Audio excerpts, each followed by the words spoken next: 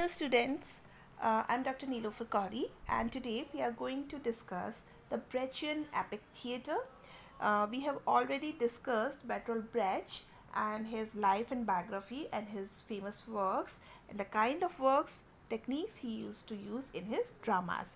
So here I have begun this uh, with this quotation from Peter Brook who is a theatre um, uh, director he says Brecht is the key figure of our time and all theatre work today at some point starts or returns to his statements and achievements. So let us begin epic theatre which is known in German Epische theatre. This is a theatrical movement arising in the early to mid 20th century from the theories and practice of a number of theatre practitioners who responded to the political climate of the time through the creation of a new political theatre. Epic theatre is not meant to refer to the scale or the scope of the work, but rather to the form that it takes. Epic theatre emphasizes the audience perspective and reaction to the piece through a variety of techniques that deliberately cause them to individually engage in a different way. The purpose of epic theatre is not to encourage an audience to suspend their disbelief but rather to force them to see their world as it is. So this is completely different from the dramatic drama or the traditional drama which used to make the audience as a part of the spectacle or the part of the tragedy or the part of the drama so that they could be one and they could you know arouse the catharsis of the emotions which they already have into their hearts as we have already discussed in the uh, theory given by Aristotle. But with Brecht or with epic theatre, this is not the same. same. The purpose of epic theatre is not to encourage an audience to suspend their disbelief. They do not believe everything that is shown on the stage. The things which are shown on the shown on the stage are only artificial things. They are just being represented to you.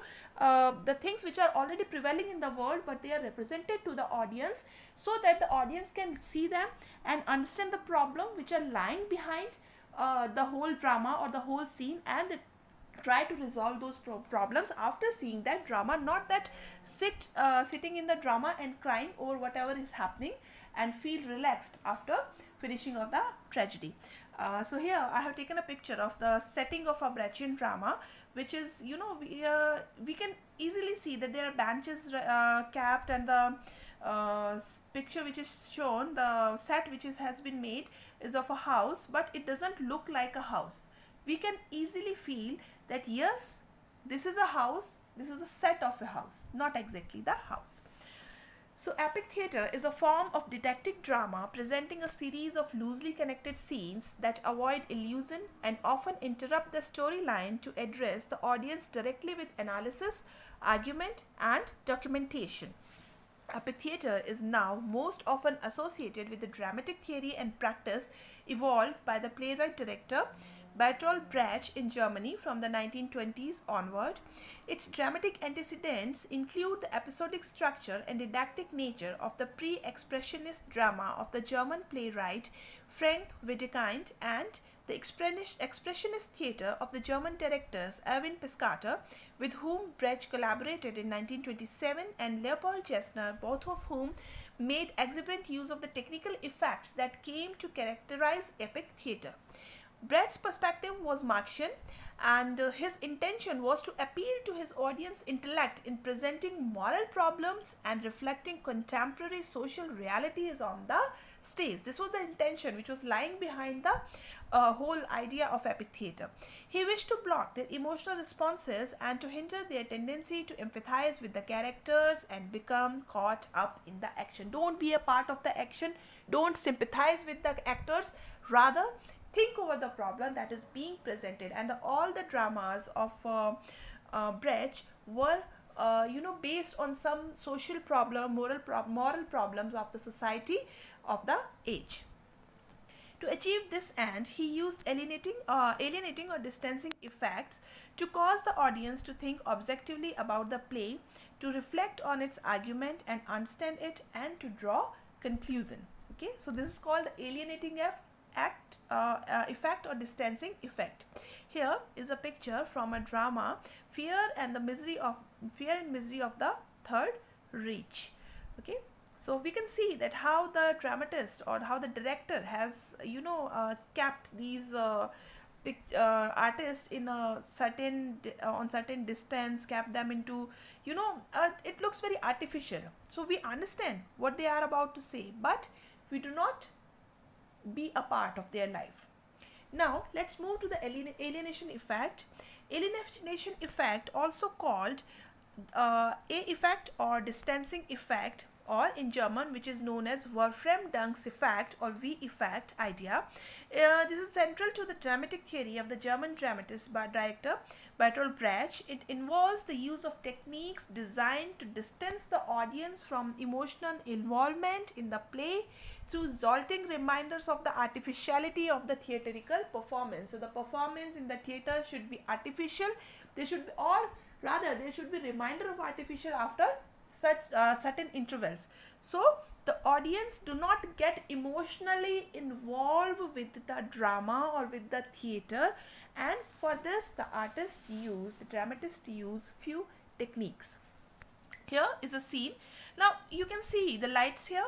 You can see the curtain or you can see the set that yes this is a set this is not the reality. This is not the location exact. Uh, this is a scene of the setting from a scene in Mutter Courage in Kinder, Mother Courage and Her Children, which is staged by Bertolt Brecht for a production in 1949 by the Berlin Ensemble. uh, staging example of such techniques in include explanatory captions or illustrations projected on a screen Actors stepping out of the character to lecture, summarize or sing songs and stage designs that do not represent any locality but that by exposing the lights and ropes keep the spectators aware of being in theater. Here is another example from the same drama. You can see a uh, screen going uh, behind in the rear and there is a curtain rope for the curtain and the artist is um, he is also you know carrying a he has held a rope in his hand that makes us feel that yes this is not real this is a drama something which is uh, presented before us. The audience's degree of identification with characters and events is presumably thus controlled and it can more clearly perceive the real world reflected in the drama okay? So the audience their uh, imagination is in under control of the director. Brecht conceived the alienation effect not, not only as a specific aesthetic program but also a political mission of the theatre, inspired by the philosophies of J. G. W. F. Hegel and Karl Marx and by Victor Shklovsky's theory of ostranenie, uh, uh, which means making it strange or defamiliarization. So, do not make it familiar, make it defamiliar. Brecht regarded his method as a way of helping spectators understand the complex nexus of uh, historical development and societal relationships. By creating stage effects that were strange or unusual, Brecht intended to design the audience an active role in the production by forcing them to ask questions about the artificial environment and how each individual element related to real life events. So to relate the events which are happening on the stage with the real life events and asking a question every time when you are moved into the, a new environment. In doing so, it was hoped that viewers would distance themselves emotionally from problems that demanded intellectual attention. So, there are the social problems which, do, which does not demand any emotional, any emotion. Rather, it demands intellectual solutions for the problems. Brecht's epic theatre was in direct contrast to that encouraged by the Russian director Konstantin Stanis, uh, Stanislavski, in which the audience was, was persuaded by staging methods and naturalistic acting to believe that the action on stage was real. Okay, so Brecht, the German uh, dramatist, is opposite than the Russian director Stanislavski. Influenced by the convention of Chinese theatre, Brecht instru instructed his actors to keep a distance between themselves and the character they portrayed, right? Do not go into the character. Otherwise, what do we say? Be in the character. Just enter into the character. It's not that. Okay, so they were to disregard inner life and emotion while emphasizing stylized uh, external action as signs of social relationship Gestures, intonations, facial expression and grouping were all calculated to reveal overall attitudes of one character toward another. Now let's move to the term epic theater. How does it come from? Why do why does uh, Brecht call it an epic theater? The term epic theater comes from Erwin Piscator, who coined it during his first year as director of Berlin's Volksbühne. Uh, Piscator aimed to encourage playwrights to address issues related to contemporary existence. This new subject matter would then be staged by means of documentary effects, audience interaction, and strategies to cultivate an objective response. Here, I have taken a scene from the Caucasian chalk circle. Again, you can see that this is not real. Okay. Epic theatre incorporates a mode of acting that utilizes what Brecht calls gestus. Uh, one of Brecht's most important aesthetic innovations prioritized function over the sterile dichotomous opposition between form and content. So what is this? Let us discuss gestus. This is an acting technique developed by Brecht. It carries the sense of a combination of physical gestures and gist for or attitude. So physical gesture in combination with attitude. It is a means by which an attitude or single aspect of an attitude is revealed insofar as it is expressible in words or action as it is it can be expressed in word or actions. So gestus as the embodiment of an attitude carries at least two distinct meanings in Brecht's theatre. First, the uncovering or revealing of the motivations and transactions that underpin a dramatic exchange between the characters. And second, the epic narration of that character by the actor, whether explicitly or implicitly. In first sense, that of uh, anatomizing the character, a gestus reveals a specific aspect of a character rather than his metaphysical, subconscious or other psychological dimension. Okay. So, the aspect which is superficial, not in the metaphysic, not in the subconscious, which is not the psychological.